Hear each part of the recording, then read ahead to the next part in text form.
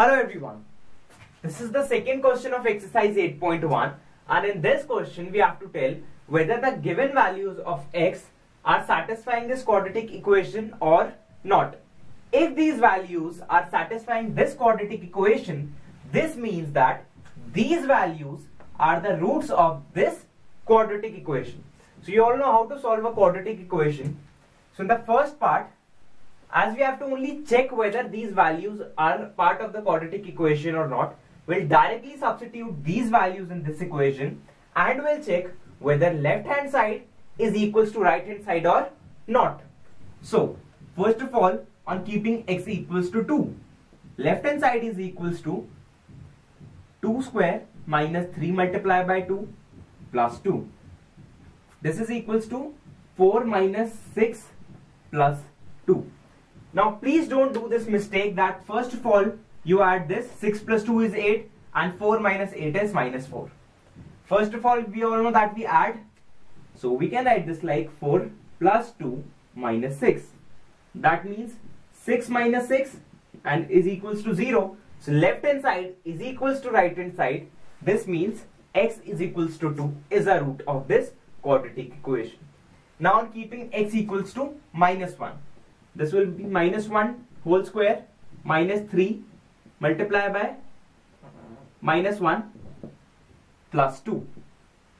So minus 1 to the power 2 gives us 1 minus 3 multiply by minus 1 that will be equals to plus 3 and plus 2. 3 plus 2 is 5, 5 plus 1 is 6. Is left hand side equals to right hand side?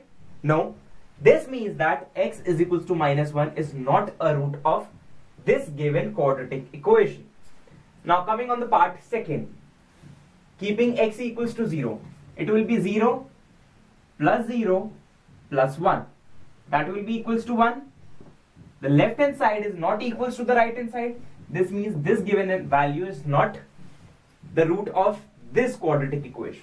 Now keeping x equals to 1. 1 plus 1 plus 1 that will be equals to 3 again it's not equals to 0 so this value is also not part of this or the root of this quadratic equation. Now coming on to part 3 it is first of all we'll keep root 3 so in keeping root 3 it will be the square of root 3 minus 3 multiply by root 3 and again multiply by root 3 plus 6 so root 3 multiplied by root 3 gives us 3 multiplied by 3 as it is plus 6 as it is minus sign as it is and the square of root 3 will give us 3. So first of all we'll multiply 3 minus 3 into 3 is 9 plus 6. So again please don't do the mistake of adding 9 and 6. First of all we'll add 6 plus 3 that is 9 and 9 minus 9 that will be equals to 0.